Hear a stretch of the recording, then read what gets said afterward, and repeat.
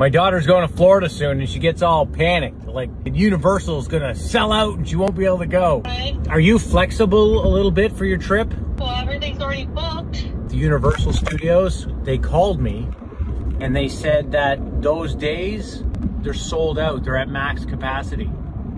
Ah, You knew this would happen. I'm there until the 27th. Oh, the 28th and on, it's wide open. They're booked the whole week. They're busy. That people want to be there at the Universal Studios. They have no days the whole time I'm there. I mean, you can go anytime, right?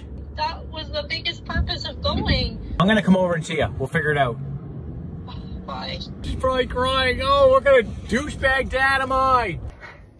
Are you crying? Yes, I'm crying. I was joking. I was just joking. You Oh, were Cordy. Oh, yes, dude. I'm sorry. Oh my god. Oh, come here. Come here. Come here. You really like Universal, eh? yes, that was the whole point of planning my trip. Here's the deal. They're a gift to you and Caleb because I use my points. Okay, that was the whole point of the video. I didn't mean for you to cry. Oh. It's not funny. No. Go get me a coffee. I can do that. I'm really sorry. Can I post a video? Yes.